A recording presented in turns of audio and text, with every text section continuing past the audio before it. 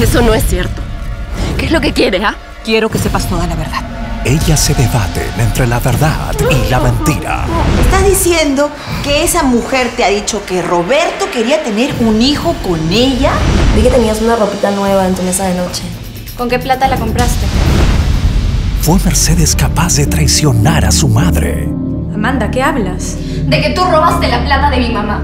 Ya deja de mentirnos. Mercedes, ¿fuiste tú? No te pierdas.